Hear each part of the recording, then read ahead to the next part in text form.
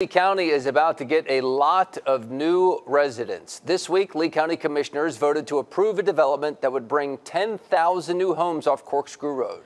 As NBC2's Alex Howard reports, the big plans to develop this environmentally sensitive land east of the interstate.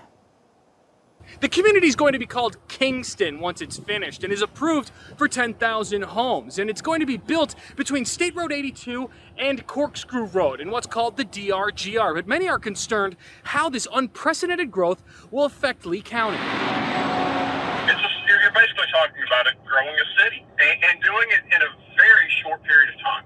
The easternmost corner of Lee County is known for being prime panther habitat and for phosphate mines. But now it's going to be known for something else. Well, it, it is certainly a remedy, you know, and uh, what's the alternative? I, I, think there was no question that there was a, a group of citizens concerned about another mine. Today, Commissioner Sandelli explained why he and other commissioners voted to approve the 6,600 acre development here with 10,000 homes, a hotel, and commercial space. 50% of that land goes into conservation in perpetuity by the developer.